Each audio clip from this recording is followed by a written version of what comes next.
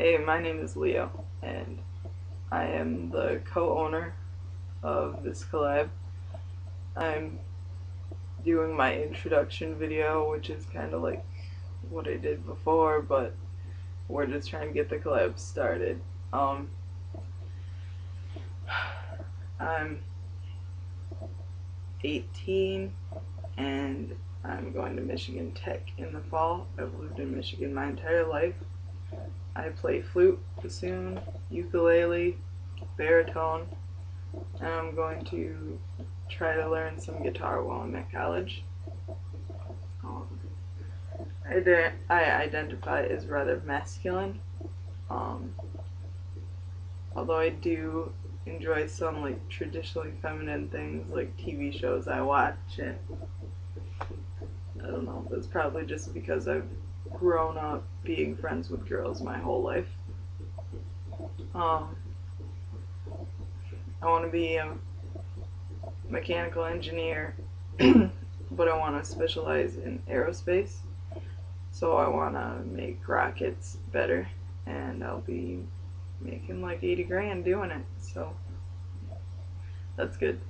Um, I have a girlfriend who is also going to Michigan Tech in the fall, and she's almost my entire support system right now. Um,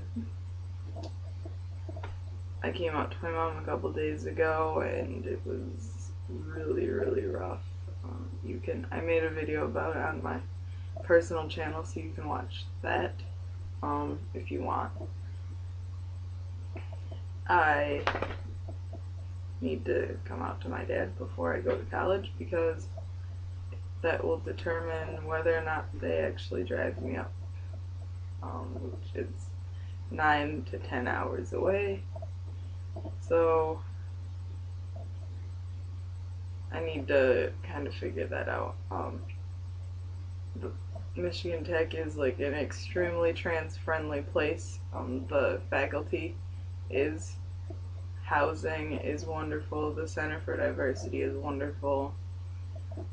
I'm being told I should have zero problems with professors, and I've talked to a couple of trans people that have gone there, and they were really like the first ones to really push trans awareness at Michigan Tech, and they said most people just kind of went with it whether they knew too much or not.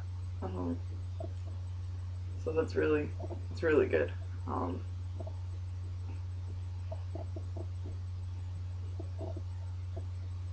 if you have any questions about college, um, like how to, who to contact about a rooming situation or help or anything, you can contact me because I learned a lot um, this past summer about who to contact.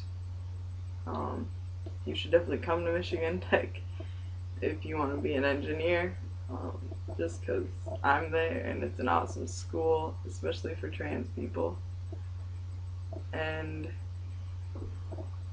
my time is almost up. So I guess I'll see you all next Monday as long as our days stay the same. So see ya.